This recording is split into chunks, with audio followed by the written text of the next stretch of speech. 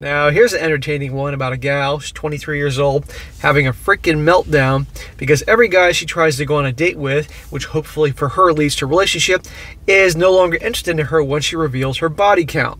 And her actions has certainly coming back to bite her in the butt. Title I Hate How Men Value My Body Count.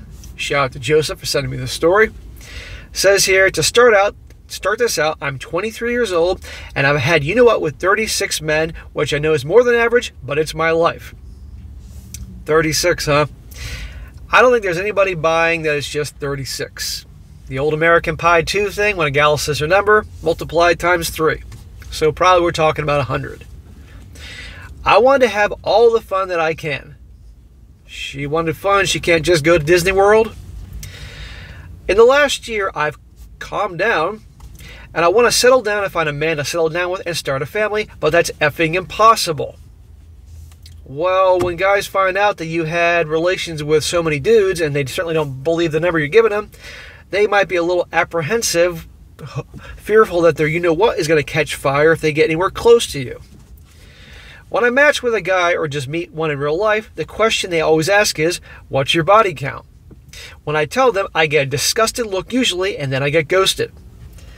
They're actually asking that in the first date. What do you do for a living? Uh, where'd you go to school? What's your body count? How many know what's did you suck? Things have changed. Uh, one time I was told that, that I'd been run through by a guy who, who I thought was so street, so sweet. It just sucks. I'm she says, I'm more than the men I've slept with and I have cool hobbies and interests and I've got a nice job after graduating high school. I guess I'll be a HOE in every man's eyes.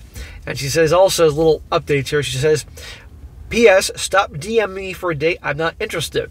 So apparently on Reddit, she posted this, and all these guys are messaging her, obviously for a date hookup. Also, she says, funny how the men who run this sub shut down this post that was getting something off my chest is, is what I guess that's how it is. Thank you so much for the rewards.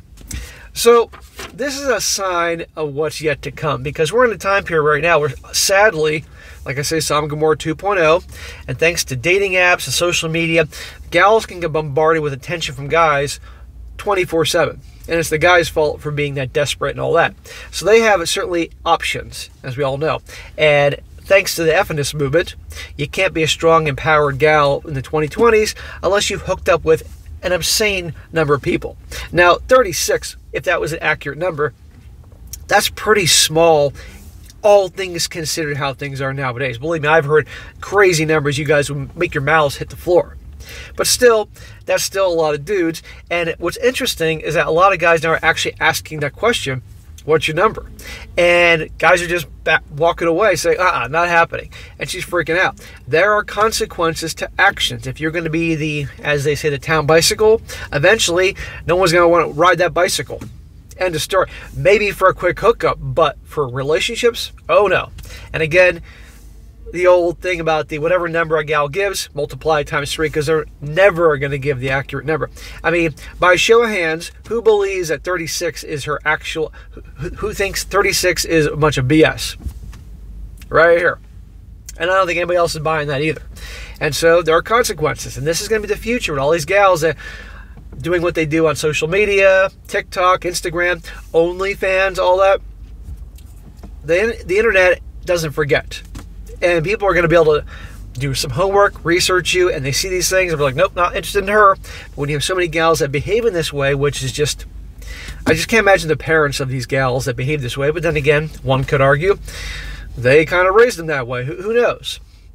And that's going to be the future. And guys simply just are not going to get involved with gals like this nowadays. Plus, more guys are not interested in relationships at all. So, this is a pretty funny one here the meltdown. She's only 23. So, what's probably going to happen is she's just going to simply lie and find some sucker, some nice guy, because right here, they all want to settle. You saw it right there. I'm looking to settle down now because eventually they want to find that nice guy, get the ring in their finger and all that. So just be aware, gentlemen, this is how things are.